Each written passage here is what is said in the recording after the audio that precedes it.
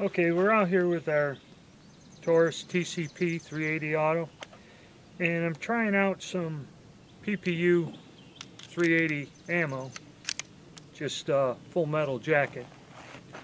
And you know a lot of people I had this gun for a while sent it back for repairs but as far as a pocket gun goes and we're about say eight yards shooting at a target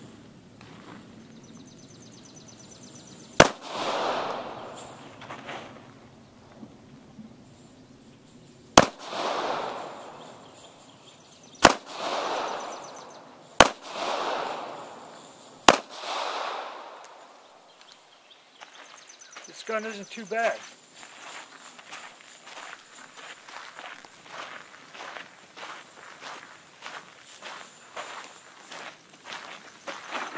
It's pretty good for a pocket gun. Uh, so that's kind of like an update on it. It's working flawlessly after it was repaired and that's good enough for what this is meant to be.